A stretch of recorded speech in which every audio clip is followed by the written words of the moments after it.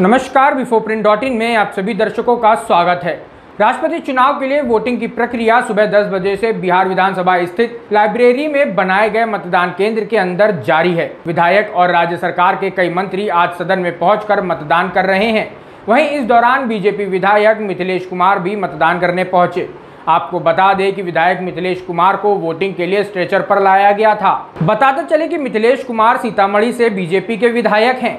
पिछले महीने सड़क हादसे में बुरी तरह से घायल हुए मिथिलेश कुमार चलने में भी असमर्थ हैं। लेकिन बात जब राष्ट्रपति चुनाव की थी तो देश के प्रथम नागरिक को चुनने के लिए लोकतंत्र में बीजेपी विधायक को जो अधिकार दिया गया है, उसे वह छोड़ना नहीं चाहते थे। यही वजह थी कि स्ट्रेचर पर लेटकर वह विधानसभा पहुँचे और अपने सहयोगियों की मदद से मतदान केंद्र पहुंचकर मतदान किया। बीजेपी विधायक ने मतदान के बाद कहा कि द्रौपदी मुर्मू समाज के जिस तबके से आती है और भारतीय जनता पार्टी ने जिस तरह उन्हें उम्मीदवार बनाया है, ऐसी स्थिति में मतदान बेहद महत्वपूर्ण हो जाता है। लोकतंत्र ने राष्ट्रपति चुनाव में मताधिकार का प्रयोग चुनिंदा जनप्रतिनिधियों को ही दिया है। सांसदों के अलावे विधायकों को यह अधिकार प्राप्त है। और ऐसे में मैं अपने अधिकार से वंचित नहीं होना चाहता था। यही वजह रही कि एक्सीडेंट होने के बावजूद वह विधानसभा पहुँचे और अपना वोट डाला। आइए अब सुनते हैं कि विधायक जी क्या कुछ कह रहे हैं। बिल्कुल बिल्कुल तो क्या समस्या क्या हो गई थी? दुर्घटना हो गई थी गाड़ी की। बस से टक्कर लग गई पिछले माह में। कितना महत्वपूर्ण चुनाव मानते हैं? वोट डालना ज़रूरी था इसलिए लिहाजा स्ट्रेचर पे आए हैं यहाँ पे। जी जी बिल्कुल बिल्कुल। कितना महत्वपूर्ण चुनाव मतदान कर लिया आपने? जी कर लिया। तो ये मिथिलेश कुमार कितना महत्वपूर्ण चुनाव मानते हैं। ये चुनाव तो देश के प्रथम नागरिक का चयन है। तो चुनाव तो हर चुनाव महत्वपूर्ण है। इसी चुनाव के लिए हज़ारों हज़ार नौजवान शहीद हुए हैं देश के अंदर। तो चुनाव तो इसी लोकतंत्र के लिए ना। तो चुनाव बड़ा हो या छोटा हर चुनाव महत्वपूर्ण। है आपने रिस्क लिया आने का यहाँ? रिस्क लेना क्या है? हम भाजपा के प्रमाणिक कार्यकर्ता हैं।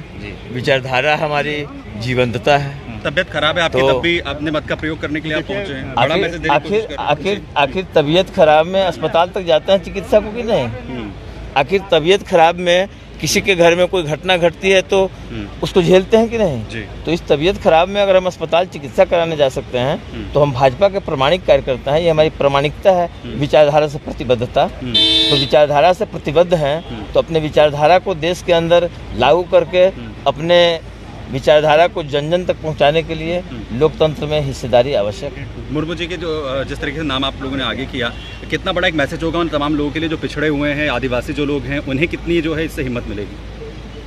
आदिवासी महिला ग्राम गाँव की रहने वाली तमाम चीज़ें इस चीज़ का द्योतक है कि भारतीय जनता पार्टी सर्वांगीण विकास में विश्वास विश्वास करती है।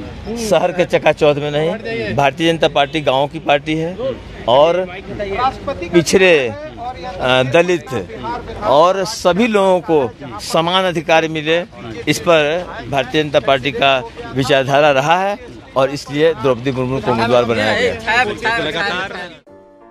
अगर आपको हमारा वीडियो पसंद आया हो तो इसे लाइक करें, सब्सक्राइब करें और साथ ही बेल आइकन दबाना ना भूलें।